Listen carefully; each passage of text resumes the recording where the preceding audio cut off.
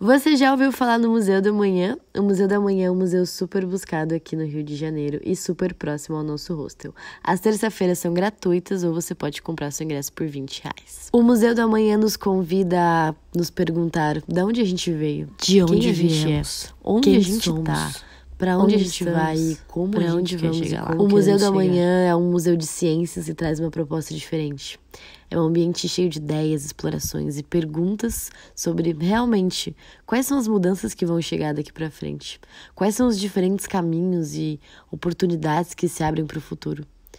O museu convida a gente a entender que o amanhã não é uma data no calendário, não é um lugar para onde a gente vai chegar e sim uma construção da qual participamos todos, como pessoas, cidadãos e membros da espécie humana. E a grande questão que a gente quer chegar aqui é que nós habitamos num planeta que vem sendo profundamente modificado por nossas ações. Nós influenciamos a atmosfera, alteramos florestas, desviamos o curso de grandes rios e qual, qual é o amanhã, que será, que será gerado a partir das nossas próprias decisões. decisões. Eu consegui até assistir o pôr do sol de dentro do museu e foi lindíssimo. E aí, você ficou curioso? Vem para Misty Hostel e viva essa experiência incrível.